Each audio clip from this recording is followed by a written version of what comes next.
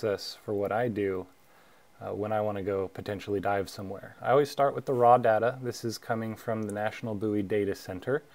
And I've scrolled down towards the bottom, that's where the Monterey area is. It's coastal waters out to 10 nautical miles between Pigeon Point, which is Santa Cruz, and Point Pinos, which is Pacific Grove area.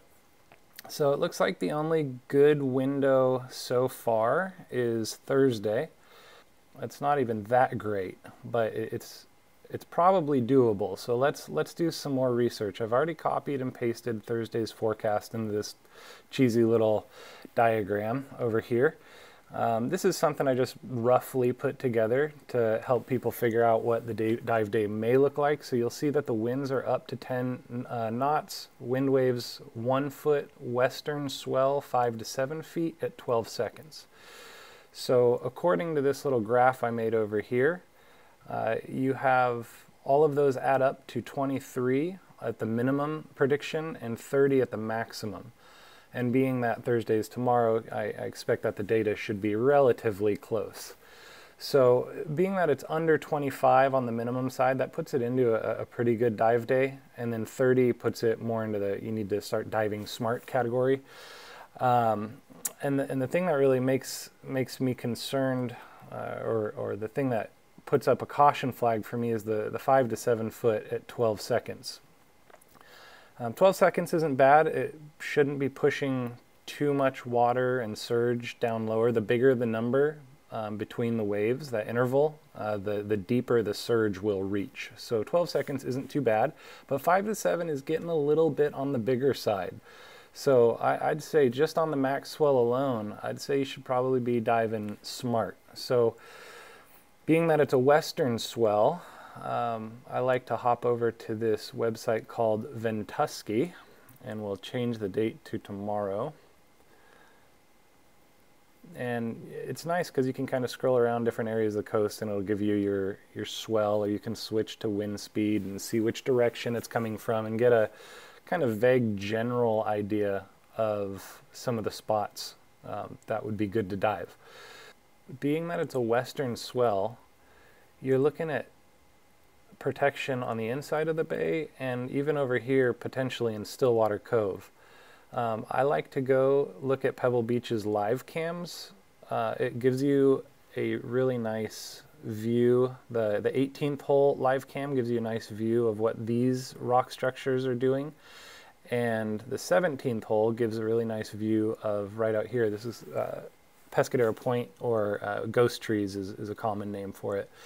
And uh, if you see big rollers coming in here on ghost trees, you know that the viz is probably going to be a little murky in here and um, it may not be a great day to dive anywhere outside in the western facing portion of Pebble Beach.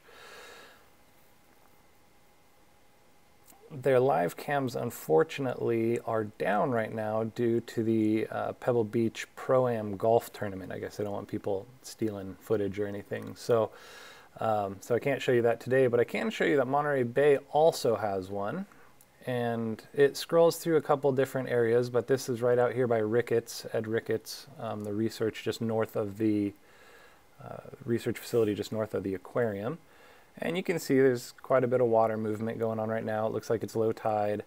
Um, so live cams really give a good uh, idea of what the water's doing, at least in a couple areas, enough to, to know what it's like inside and outside of the bay generally.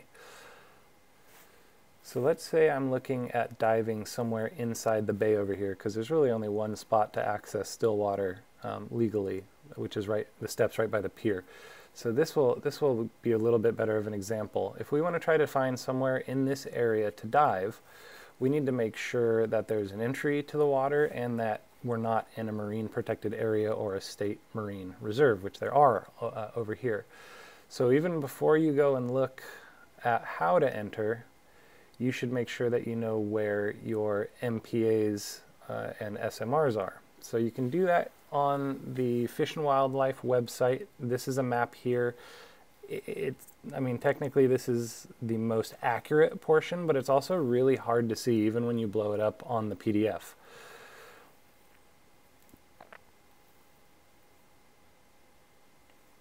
So if we want to come in here to Monterey, you're not getting a whole lot of great definition of where that red spot is uh, to dive. So there's a really great tour builder tool from um, Google.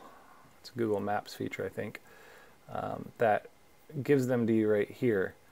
Now, the blue spots are reserves where you can't take invertebrates, but you can fish. Uh, the red spots are no-take zones altogether. So you see this is Lover's Point right here. This little line coming straight off of Lover's is the legal limit. Similarly, this is Point Pinos over here. Uh, so you can dive anywhere to the north of Pinos, or I guess that would be kind of east, um, in this section, which is good. Or you can come all the way down over here to dive, uh, or, or anywhere out in you know Del Monte Beach area. Um, but let's let's take a look over here. Coral Street's a really popular dive area in Pacific Grove. Um, but I want to hop back over to maps now that we know we can dive from here to point to um, Lover's Point. I want to show you a cool tool. If you turn on satellite view and you click this 3D button over here, you can actually zoom into a section of beach and if you hold the command or control key you can turn it and zoom in on a really cool pretty accurate 3D scale. So this would be really helpful for finding spots to get in the water down in Big Sur, goat trails and stuff like that. I spend a lot of time on this view. Um, but you can see, just for the example's sake, here's a little spot you can enter on the stairs, so maybe that's a good kayak spot.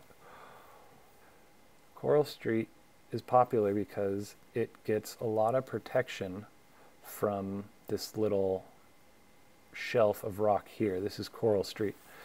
Uh, so this is a really popular area to get in with kayaks and stuff because they have um, they have a set of stairs right here.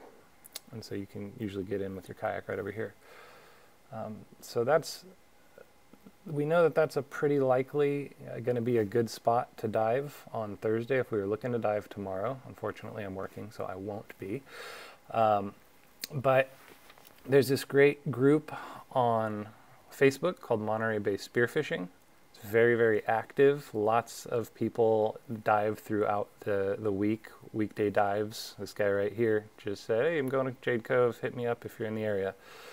Um, so I would encourage you guys to hop on Monterey Bay Spearfishing or just get involved with your local group like the Tritons, um, Bamboo Reef Freedivers, or, or any of the, the local shops that are more knowledgeable on um, spearfishing and conditions and stuff like that. But you should be able to find a buddy or two on uh, on this group here. So I'd, I'd, encourage you guys just to hop on and uh, give a shout out.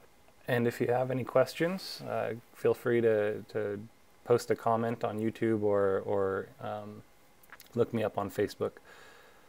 So happy diving. Hope you guys uh, get some good fish and enjoy the oceans.